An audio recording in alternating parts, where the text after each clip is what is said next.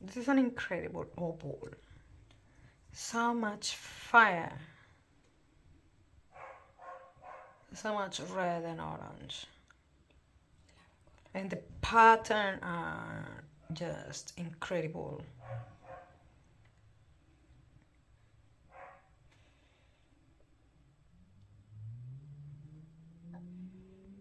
You've got amazing colors from every angle.